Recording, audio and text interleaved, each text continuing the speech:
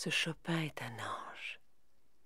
Sa bonté, sa tendresse et sa patience m'inquiètent quelquefois.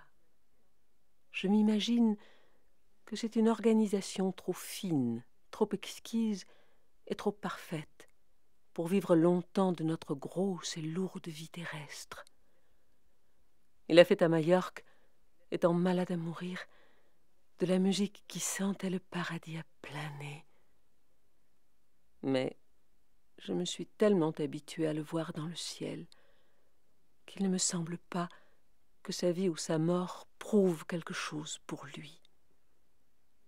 Il ne sait pas bien lui-même dans quelle planète il existe.